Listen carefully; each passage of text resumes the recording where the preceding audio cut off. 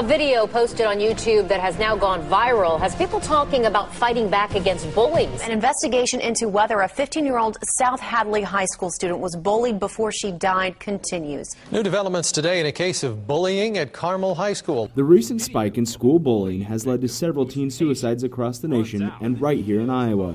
And these tragic events are grabbing the headlines and the attention of school leaders, parents, and Iowa State University Associate Professor of Psychology, Doug Gentile. Through a new study, Gentile has found six risk factors he believes may help schools target future bullying. What we're interested in is how different risk factors combine to predict which children might uh, become more likely to get involved in physical fight in the coming school year. The six risk factors Gentile found are bias toward hostility, low parental involvement, gender, physical victimization, prior physical fights, and media violence exposure. We know that boys are more likely to get into fights.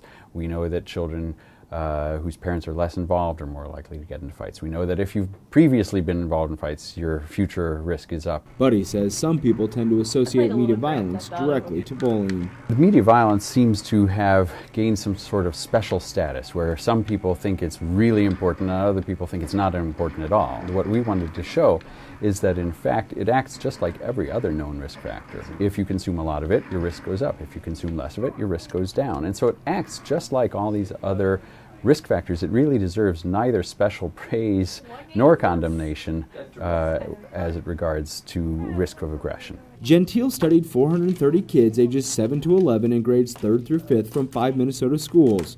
He says it's important to note that kids that have one or two of the six risk factors doesn't necessarily mean they will be a bully in the future. Kids are resilient. They can actually handle a couple of risk factors uh, because we all know children who watch a lot of media violence and are not aggressive. We all know children who've been bullied and are not aggressive. We all know boys who are not aggressive. But once you start putting a bunch of these together, you have a boy who's been bullied, also consumes a lot of media violence, the risk really starts to take off. But once you get to about three or four, and we measured six in this study, uh, once you get out to having all six, actually the risk is very high. 94% of the children who have all six risk factors are likely to be involved in a physical fight in the next school year. Gentile says this new study could be a major tool in the fight against school bullying. Until now, we haven't really had a very good way of predicting who's likely to be uh, more physically aggressive. And so, if we use these in schools, we might be able to profile kids to figure out who the higher risk kids are and target some programming directly towards them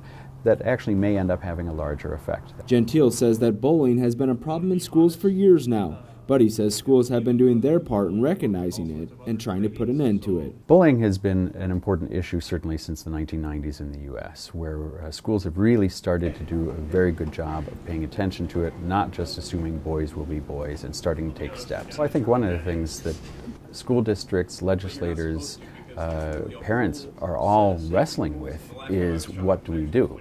Uh, and they all talk to each other but uh, there hasn't been a whole lot of research of this type for them to draw on. And so I think this may bring something new to that conversation.